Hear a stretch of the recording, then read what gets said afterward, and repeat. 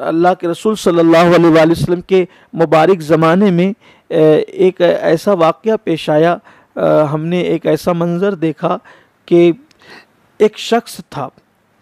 حضور علیہ السلام کے ظاہری دور میں ایک شخص تھا جس کو میوزک کی اور گانے باجے کی بڑی عادت تھی اور وہ اس لت میں ڈوبا ہوا تھا اور اسی میں وہ ڈوبا رہتا تھا۔ لیکن اس کی یہ عادت تھی کہ وہ گانے باج، باجے تماشوں کا عادی تو تھا ہی تھا، لیکن ساتھ میں اس کا ایک اچھا عمل یہ تھا کہ جب وہ ذیلجہ شریف کا چاند دیکھتا تھا تو اس چاند کے دیکھتے ہی وہ پہلی ذیلجہ شریف سے روزہ شروع کر دیتا تھا یعنی روزہ رکھ لیتا تھا۔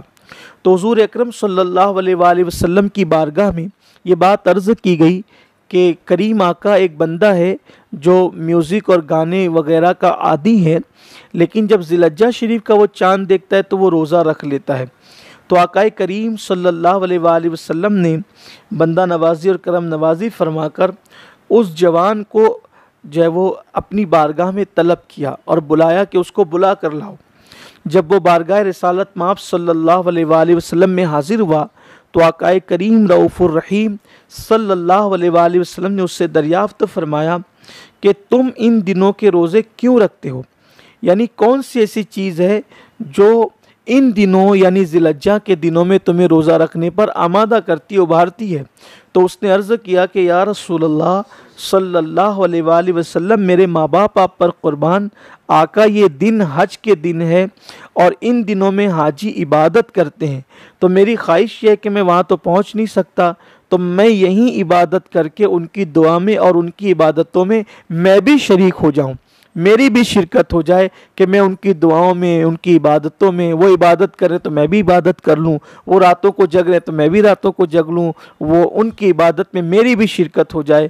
تو کریم آقا صلی اللہ علیہ وآلہ وسلم خوش ہوئے اور اس جوان سے حضور علیہ السلام نے ارشاد فرمایا کہ ان دس دنوں کے اندر جو تم روزہ رکھتے ہو تو ان میں سے ایک روزے کا ثواب ایسے ہیں جیسے کہ ہر روز یعنی آقا علیہ السلام فرماتے ہیں، ایک روزہ رکھنا ایسا ہے جیسے کہ سال بھر میں ہر دن تم نے روزے رکھے۔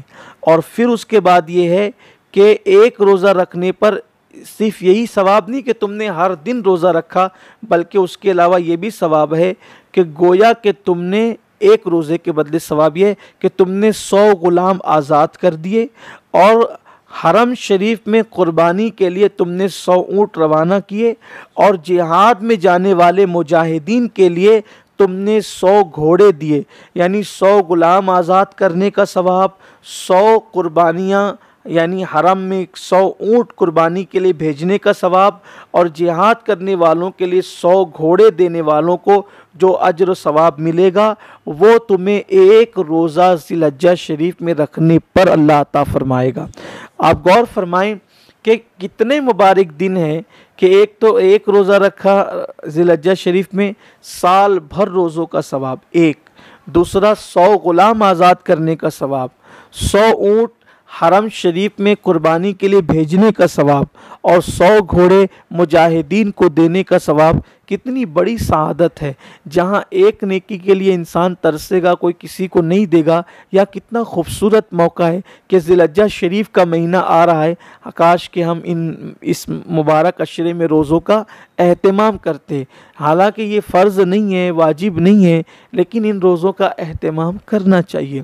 بلکہ بعض بزرگان دین کے متعلق آیا ہے کہ وہ تیرہ، چودہ، پندرہ تاریخ کو ہر مہینے کی اور عاشورہ کا روزہ اور ذلحجہ میں عرفہ کا روزہ سفر میں بھی ترک نہیں کرتے تھے، سفر میں بھی نہیں چھوڑتے تھے۔ ان سے پوچھا گیا کہ رمضان شریف کے روزے چھوڑ سکتے سفر میں؟ لیکن تم یہ روزے سفر میں بھی رکھتے سفر میں نہیں چھوڑتے۔ تو بہت خوبصورت جواب ایک بزرگ نے دیا کہ رمضان شریف کے روزے اگر چھوٹ جائیں یا سفر میں چھوڑ دیں تو اس کی قضا اور دنوں میں کر سکتے ہیں۔ لیکن یہ روزے چھوٹ جائیں تو ان کی، چونکہ یہ نفل ہے، تو نفل کی قضا نہیں ہو سکتی ہے۔ اس وجہ سے ہم اس کو سفر میں بھی رکھتے ہیں۔ حالانکہ سفر میں بہت چھوٹ ہے۔ مگر چونکہ جو لوگ نیکی کے دلدالے ہوتے ہیں، جنہیں نیکی سے رغبت ہوتی ہے اور نیکیوں کے ذریعے سے جو اللہ کا قرب پانا چاہتے ہیں، تو یہ ان کا ذوق اور شوق ہے۔